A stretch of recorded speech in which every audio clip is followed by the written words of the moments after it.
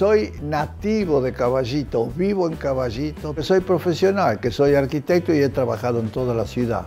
Pero mi corazón está acá, en el corazón de Buenos Aires. El hecho de, que a mí me hubieran gustado los tranvías, junto con otros, vamos a hacer una asociación nosotros. Uno los ferromodelistas y otros eran los del Ferro Club.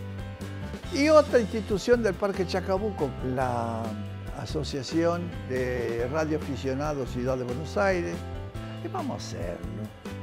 Y nos juntamos, hicimos un acta en el cual se pusieron diferentes metas que tenía que conseguir.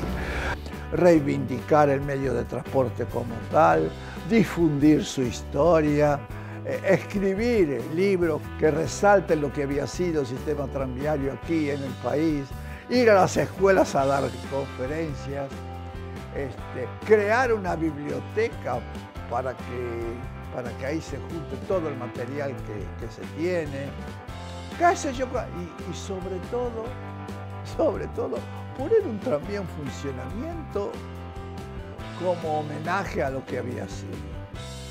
Cuando el tranvía entró con la avenida Rivadavia, eso lo tengo acá, qué lindo que fue. La avenida Rivadavia llena de gente, la cuadra que va de Cuchacucha a, o de Villomite, la que quieras, a Víctor Martínez y, Espinosa. Y aquello estaba, tronaba como la Gran Siete, nadie se movía. Cuando el tranvía puso la nariz ahí que entró en Rivadavia, abrió don Pedro de arriba la canilla, largo tanta agua, ¡fua! nadie se movió.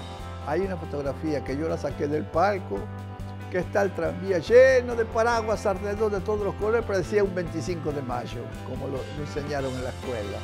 Ese fue lo más bonito, de decir, vinieron y no se fueron, había interés por lo que estamos haciendo. Y ahí empezó la historia.